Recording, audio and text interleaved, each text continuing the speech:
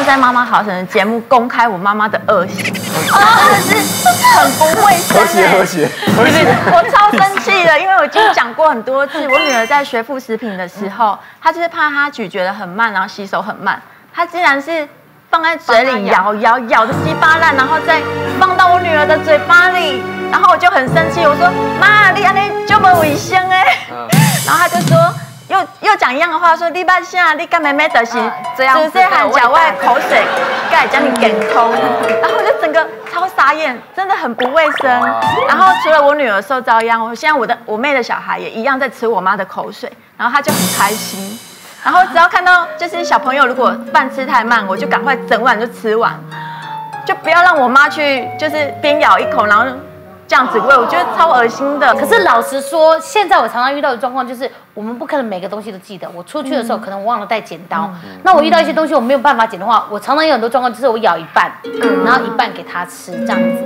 那这样也是会接触到口水，那这样子 OK 吗？包括阿妈这样子喂小孩，还有我们这样不小心口水接触到，你觉得咬一口跟咬二十口味有什么不一样吗？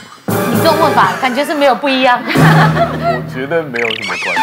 所以你赞成阿妈摇一口小孩吃啊？我没有推广这个做法，只是为了家庭和谐。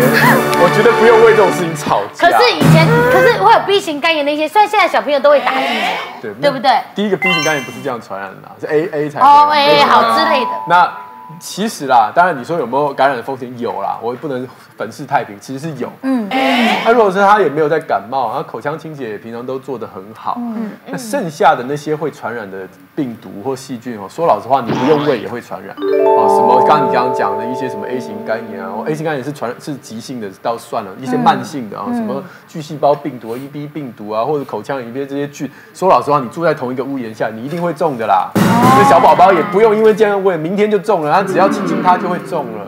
所以我就觉得，哎呀，嗯，那那就算了嘛，早得晚得都是会得，所以我就觉得，嗯，但我没有推广这件事情，就说请大家每天这样做，我倒是没有。然后有一个研究哦，说如果小时候有吃妈妈口水的这个小孩，长大以后过敏几率比较低。不不是啵啵啵这样，不是啦，就是说有些如果没有那么方便的时候，对对对对对，像国外有些人奶嘴掉地上，然后妈妈很很懒啊，就沾一下就把它塞回去。然后那些小孩子长大以后过敏几率比较低一点。我觉得医生你好愚昧哦。可是我觉得其实从他这里可以得到很多新知识，就发现很多东西我们真的不用那么紧张，也不用对对对，有时候我们好像真的太紧张了，搞以后我妈妈去找你的时候，搞到全不要跟她讲这些哦，事。不会不会，不会不要打个眼神，好吧？你就这样，我就不会讲过其实很多阿公阿妈的爱哦，真的很特别，就是很多东西都一直喜欢加在小朋友的食物里头，对不对？就是啊，安尼无搞，哎，下面下面我们加咖喱去啊，安尼才会健康啊，安尼才会搞大汉啊会不会有这种状况？维妈呢？你们家会不会？那我们家的话，状况是因为阿公阿妈他每天都有泡老人茶的习惯，然后你泡茶总是会准备一些饼干啊、点心，所以我们家真的是囤了超级多的干粮。嗯，那除了零食以外，我们阿妈还会买粉光参。那粉光参的话，阿妈主要是希望可以就是它会混在奶粉里面冲泡，然后给小孩喝，他觉得这样增加一点香气，可以增加他的胃口，因为他觉得胃口变好，自然吃的多就会长肉长高。嗯，对。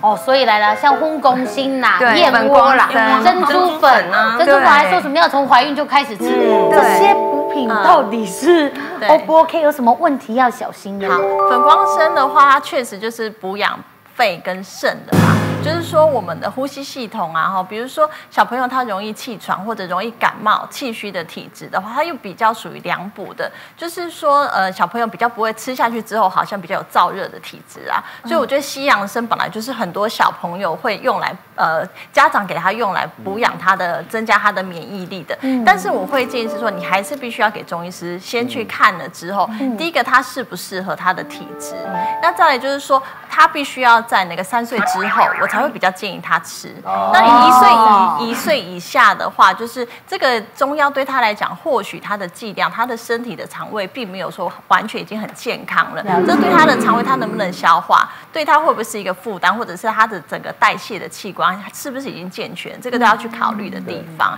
那如果真的啊，张张医师你应该懂嘛哈，真的有时候就是说很饿的时候，那就放个食物在那里给小朋友想吃，就是想拿就拿，也是出于我们的爱呀，你也知道啊。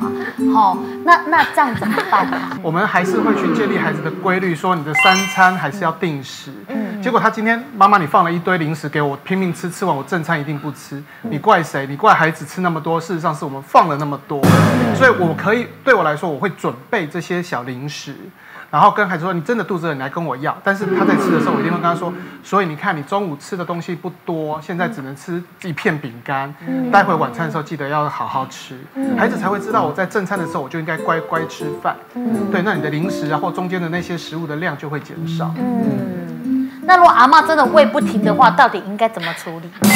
阿妈一直喂不停啊，其实真的这样的一个状况来说。呃，我们担心的是什么？嗯，第一个是孩子在短时间之内被大量的食物塞满，对，那这个孩子这个时候孩子一定会有反应，比如说开始。不动，因为肚子太撑，或者开始会想吐，对这样的状况，请你一定要让阿妈看到。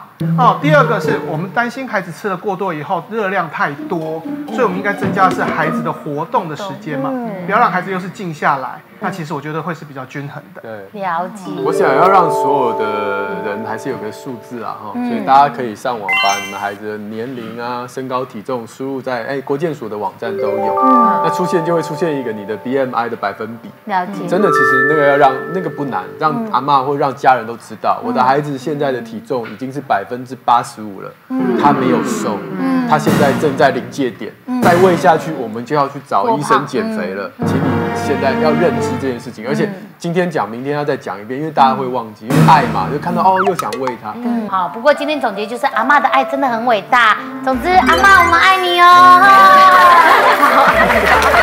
好，谢谢大家。八个黄神回复，阿妈放轻松，副食品可以不用喂。